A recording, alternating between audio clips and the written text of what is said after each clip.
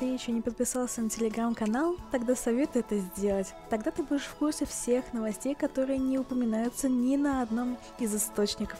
Какие видосы планируются, что я буду выпускать, чем занимаюсь в данный момент, ну и просто есть возможность со мной поболтать. Так что подписывайся обязательно, ссылка в описании. Всем привет, дорогие друзья, с вами снова я, Доналя, и сегодня у нас очередное видео по обновлению в Star Stable Online. Посмотрим, какие новости сегодня к нам пришли, какие скачки добавили, ну а также новую добавленную породу в игру. Так что устраивайся поудобнее или седлай своих коней и... Поехали!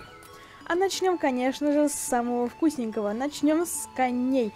К нам приехала бельгийская полукровная лошадь, которая идеально подходит для верховой езды, так как имеет очень красивый типаж. Мне кажется, ее можно использовать и в конкуре, и в выездке.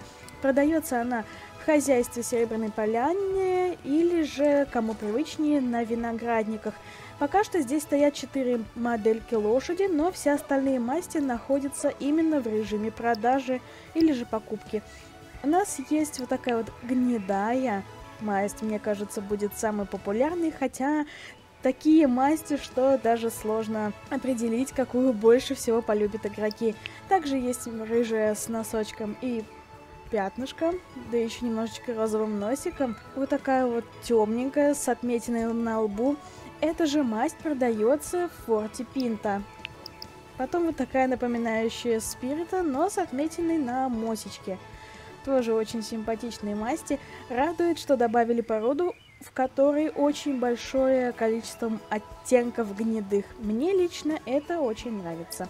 Ну и, конечно же, куда же без вороных, но не совсем стопроцентных. Есть маленькая отметина на мордочке и также носочек на передней ножке. Ну и светло-серый – любовь всех любителей светло-серых лошадей. Кстати, он очень красивый и тоже имеет особенность в виде розовых губок. Но и это еще не все. В Star Stable Online была добавлена особая масть данной лошади, а точнее сама лошадь. Это All-In от э, коллаборации Star Stable и Chindem We Love Horses. Данная масть продается в Форт Пинта и в конюшне Юрвика. All-In является конем Олимпийских игр, призером и также чемпионата мира. И в коллаборации его решили сюда добавить. Пока что неизвестно на какой промежуток, но Форт Пинта он будет намного дольше, чем в конюшне Юрвика. Все бельгийцы стоят 850 старкоинсов, сила 1, дисциплина 2, скорость 0, выносливость 1 и гибкость 3. Так что очень хороши в гибкости.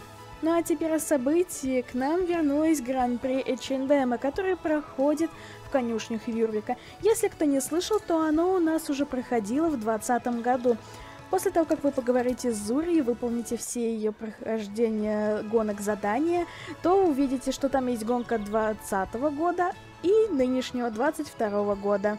Гонка будет доступна до 7 декабря, ровно так же, как и версия All-In, находящаяся здесь, на конюшне Юрвика. Он находится в двух местах, так как привязан к данному событию. Так что до 7 декабря он продается не только в Форт Пинта, но и здесь, а после обновления в среду 7 декабря исчезнет, но останется в Форт Пинта на неизвестный срок. Две гонки Гран-при 2020 года и 2022 года. Гонка 2020 года дает нам 250 опыта лошади, Гонка 22 года дает 500.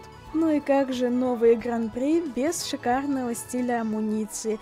Бесплатный код, который дают разработчики, дает нам очень интересный пиджак в стиле разработки H&M с эмблемами коричневого цвета, с эмблемой H&M, Гран-при H&M, но сзади есть такая дизайнерская особенность, шнуровка, как у корсета. Согласитесь, это очень необычно. Ну а в глобальном магазине нам добавили много чего интересного именно для коней. Появился сет осенней академии, который очень сочетается также и с одеждой, которую нам добавили. Тоже сет называется осенней академии. Добавили ботинки, брюки, два варианта юбок, перчатки, свитера, водолазки и ша вязаные шапочки. Если честно, стиль очень приятный и подойдет, мне кажется, для любителей осени, но и не только. Но кроме данных сетов и амуниции, нам добавили еще и новые вальтрапы большого количества цветов. Цвета очень сочные, яркие, мне очень нравятся. Даже оценила белоцветастые нагавочки, тоже купила. И нога, и бинты цветные. В общем, оттенок в этот раз я считаю просто замечательный. Ну и в какой-то веке черно-белый в студию. Нам добавили идеально черные нагавки, также бинты идеально черные, хотя мне кажется, у нас были уже идеальные черные бинты. Ну и также идеально белые нагавки и идеальные белые бинты. Так что если вы фанатик ярких цветов или черно-белых оттенков, пожалуйста, бегом в глобальный магазин. Вальтрапы доступны с 9 уровня и чтобы были открыты виноградники. И опять же моя теперь любимая фраза. Вы только что вылезли из библиотеки Форт Марии, Опять же, возвращайтесь обратно, так как у нас появился новый кусочек истории от миссис Холдсворт о чем-то очень-очень интересном и очень-очень древнем. Поэтому далеко не уезжаем и возвращаемся обратно. Ну а также связанное кое-что с обновлением в следующей неделе. Будет расширена сюжетка связанная с библиотекой Форт Мария. Ну а на этом видео по обновлению подошло к концу. Спасибо, что посмотрели его, ставьте лайки, пишите комментарии, как вы относитесь к мероприятию, связанному с Гран-при Чендемом. Мне лично оно очень сильно нравится, особенно то, что теперь здесь еще и продается конь. Надеюсь, он будет проезжать при каждом Гран-при. Ну на этом все, и я с вами прощаюсь. Не забывайте тренировать своих лошадок, чистить их, а также угощать морковкой. Всем пока! Удачи вам! Ну и до встречи в следующем видео. И удачи вам с прохождением данных препятствий.